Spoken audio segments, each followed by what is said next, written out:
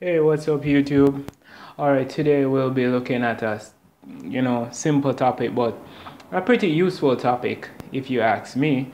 Um, it's how to create a IPTV file, or basically a streaming file for your Kodi XBMC. Right now, you're at one of my favorite sites. I know they're getting free publicity. This is live TV streaming list um no it's tv online streams something like that. It's in the url up here but that's not my site anyway. But what you can do is you can go to any site on the internet and you can get a iptv link or a stream file basically but the thing is most of the times when you go to these websites you don't really get a file. You get a list of locations and urls and all them good stuff. But if you don't know much and you're a beginner you're gonna say okay how does this work over to Kodi I can't just click play and it works. All right so for this demonstration, I'm going to be showing you how to write the file that is needed. Don't worry if you don't have IPTV Stalker, which doesn't work sometimes, or IPTV Player, or any of those stuff. Your Kodi is able to play IPTV files easily and well once you know how to write them. It took me a while to figure out how to do it, but once you know, it's pretty simple. So let's get into it. Before you try to attempt this, you're going to need um, a file, a file editor or a code editor, whatever you want to call it. Notepad++. Plus You can Google that and get it. Notepad++ um, you, you probably want to be running um, Kodi on your computer anything. Anything does works actually, but you definitely want a text editor like Notepad++. So basically, just follow the instructions.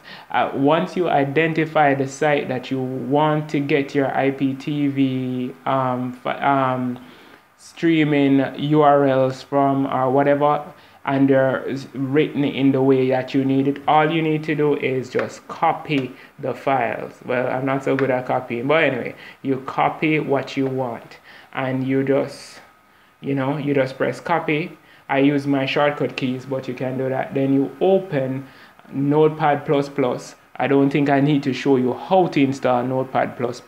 There should be many videos available to teach you how to do that.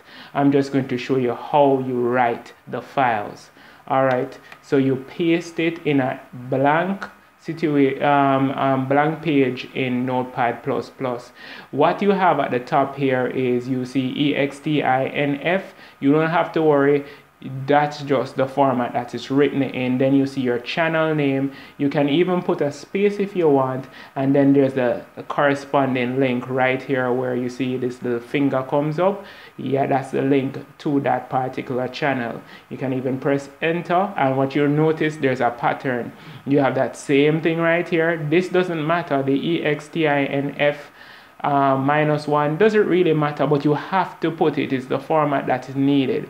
And then your channel after that. So you can just always copy this put a number sign or a pound sign extinf don't ask me what it stands for. I won't know. But anyway you put that and just the same format that you have right here. And then you put your channel name comes after that.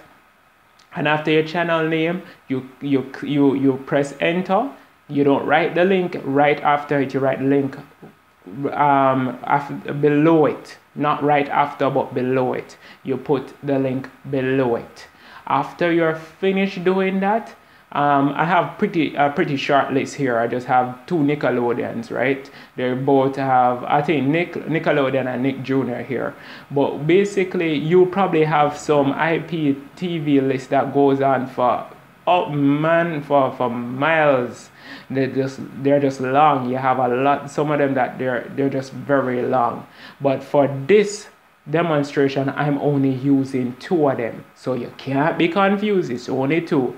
Let's recap. You have your little code thing here and then you have your channel name. After that comes immediately the link to your channel you just copy the link in here. This could be named anything. This could even be named the great cow. It could be named anything but that's your channel name. And you have the format number sign and this and then the channel name. All right after you've done all of that you can just i'll probably make a um i'll probably make this uh, this, this file um, available for download. I'm not sure. I might do it but yeah.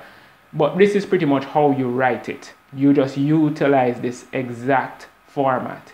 Then you can click save but this is where the magic comes in. You save as you can name your file anything you want to name it i'm going to name it um, try it out.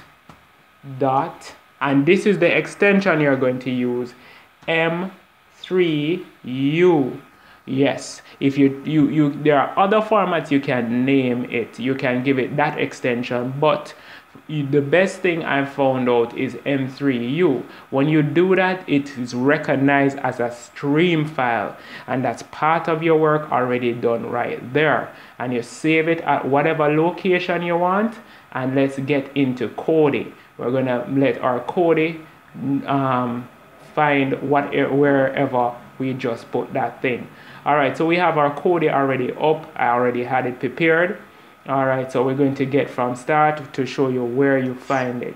So you go to videos for instance you click on files then you see add video. You click on add video and you're going to browse for the location of your m3 um, m3u file. All right so i have a lot of stuff on my thing because i'm using windows um, mine is on the desktop. It won't be the same for you depending on where exactly you placed your file. And it's best to place your file inside inside a folder. Because if you don't um, put it in a folder it becomes harder to find. Because it won't necessarily so we're going to create a folder here and put it in that folder I think I'll probably be making a part two to this to make it easier. Alright, I'm naming my folder um, LOP. Yeah, making it simple. And then opening some um, our browser, our browser in Kodi, our file browser that is.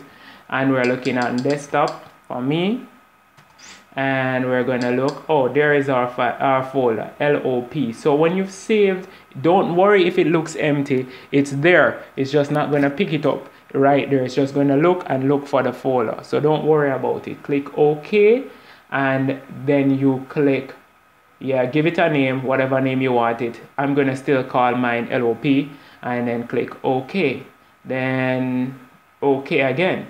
All right then we go back out. When you go back to files now you're going to see it under the name you gave it which is LOP then see this is our thing. Try it out M3U click on it. You see on my Nickelodeon and my Nick Jr click on it.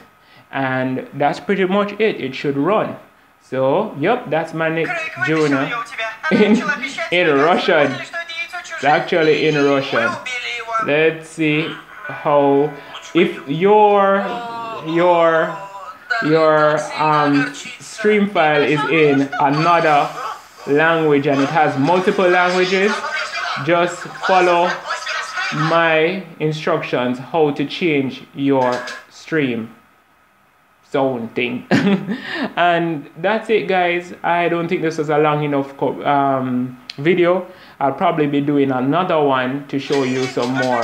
If you like this, please give, alright, wow, this is loud. If you like it, please give it a thumbs up. Tell me how much you like it. Tell me what you want to see. I can teach you how to code these things. And if you want, I could actually put up some IP um, streams for you if you need them. So um, thanks for watching, guys. That's been it. Yep please like subscribe and we're on i think we're on instagram as well and we're definitely have um, a facebook page. So just stop say hi or whatever. Thanks for watching